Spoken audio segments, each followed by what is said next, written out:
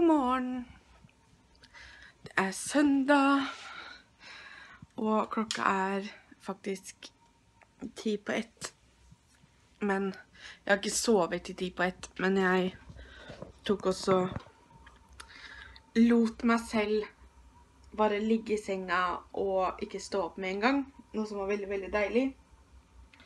Men man må starte dagen en eller annen gang, føler nå jeg. Eh, og jeg skal for det første ta meg Hvis dere hører Jeg vet ikke hvor bra lyden eh, høres, men hvis dere hører en sånn suging, så er det en sånn smertestillende greie jeg skal ta, for at jeg har litt migrene i dag. Og jeg gidder ikke å Jeg gidder ikke å liksom på en måte vente. Jeg bare tar pillen om en gang, for jeg orker ikke å bruke den ene fridagen jeg har på lenge med å ha vondt i huet. Nei, nei. Se bare. Jeg finner ikke pepperet, så da tar vi og kverner pepper. Jeg driver og skal filme en filme en video. En mat på mandag-video. Prøve meg fram med litt omeletting i dag. Og da fant jeg ut at det er jo sånn ting som jeg da bør passe på å få filma så dere kan se, men det er mest sannsynligvis det er videoen dere får se allerede på mandag, altså i dag når dere ser det her. Så nå, først og fremst, så driver jeg bare og finner fram ingrediensene som jeg skal ha oppi. Cheerio, Miss Sophie.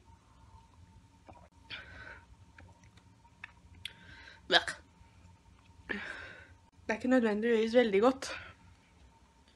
Hva vil jeg ha i det omelett?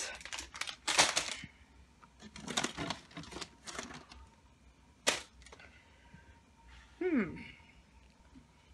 Melk, selvfølgelig. Herregud. Spaced. Og så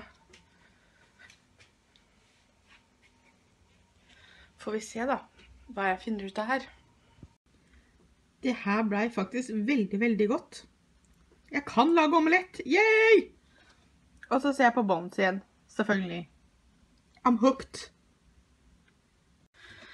Jeg skal bort til farmor for å hjelpe henne med noen på PC-en. Hun kommer ikke på, på nettet. Så da skal jeg gå bort og se om jeg kan få hjelpe henne med det. Og så må jeg tilbake og redigere video.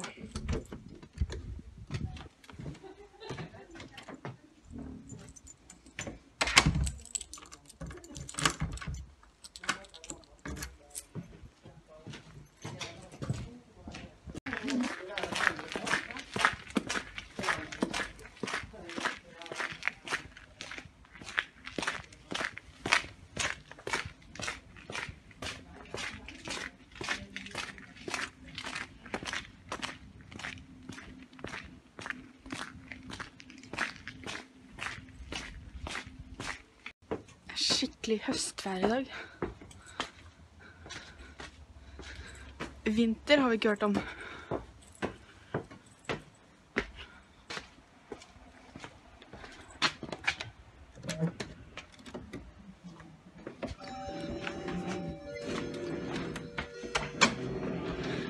Hallo!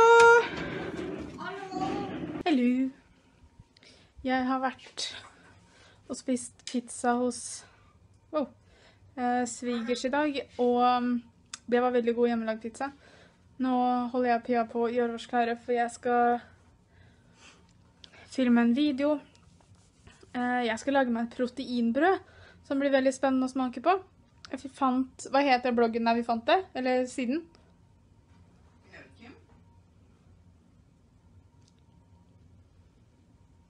Det står vel i adresselinjen. Treningsfrue.no. Så jeg tenkte jeg skulle teste det, så nå har jeg stilt opp alt av ingredienser, og så får vi se hvordan dette blir. Jeg håper det blir bra.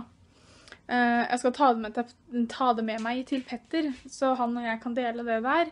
Ikke sånn på en gang, men at vi har det der. Så blir det bra. Pia sitter og redigerer videoen som For det var egentlig meningen at proteinbrød skulle ut i morgen, men så tar vi det neste mandag, fordi Pia har filma en liten matlagingsvideo til morgen i dag. Ehm, som vi tar i morgen isteden. Så det blir bra. Uh, så Whoop, whoop. Da står proteinbrødet i uh, ovnen. Uhu. Få se hvordan dette blir, da. Det skal stå i 25 minutter først. Stått, Nå er det 17 minutter igjen. Så vi får bare holde øye med det og sjekke åssen det her blir. Jeg glemte helt å fortelle dere i går det at jeg har bestemt meg for en tatovering til jeg vil ha. Og det er romertallet 14, for 14 er jo yndlingstallet mitt. Uh, og at ikke jeg har tenkt Altså, jeg, jeg har vært inne på tanken før om jeg skulle tatovere tallet 14 på, på meg et eller annet sted. Ehm, men jeg syns på en måte det at det er litt kulere i romertall, for da er det ikke så tydelig hva det er. Det blir litt mystisk. Unntatt for de som kan romertall, da. Ja, nettopp. Jeg hadde akkurat tenkt å si det. At hvis du kan romertall, så blir det så fryktelig Men jeg, bare tror, jeg tror jeg likte romertall uh, Holdt jeg på å si Jeg tror jeg likte romertallet bedre enn bare hvis jeg skulle tatt 14. Jeg kan jo vise dere åssen det ser ut. Her ser dere det er en X og en Y og en V. Eller jeg vet ikke om det er I, da, men Og så er det ganske morsomt, fordi hvis jeg skal ta 16, så er jo det nesten helt likt. Det er bare I-en veden har bytta plass. Jopp. Så det er Så jo her ser dere Hvem har lyst til å ta 15? Ja. Please ikke ta 15 bare fordi vi sier det. Vi har begynt å se på en ny serie uh, på Netflix som heter Travelers. Som er en sånn original Netflix-serieting. Med han som spilte Will i Will og Grace.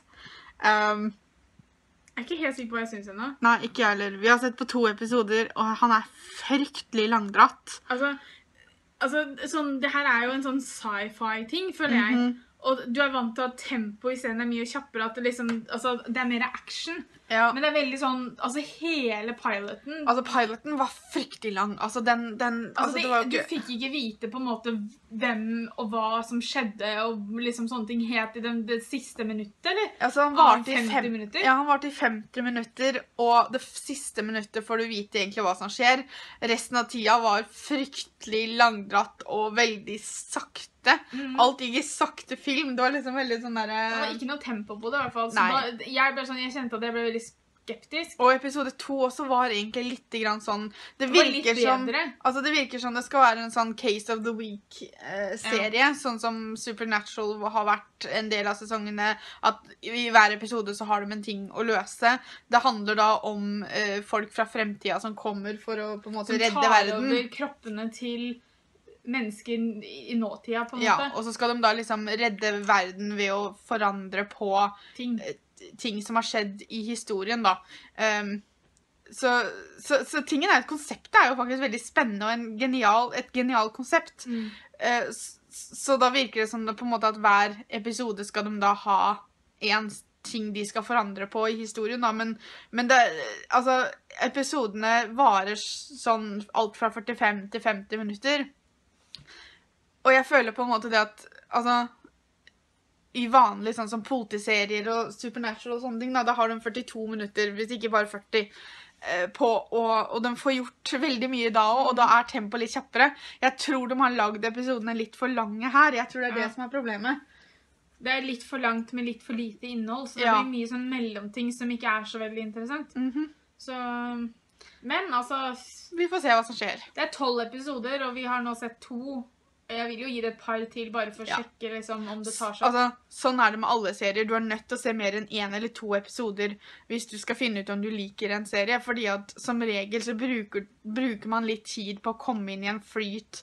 Uh, og Den eneste serien jeg ikke har klart å gjøre det på, er The Vampire Diaries. Jeg har sett én hel episode av den, og jeg, og, jeg klarer ikke i det hele tatt. og jeg så den serien sammen med Guro første gangen, og vi bare orka ikke å se det i det hele tatt.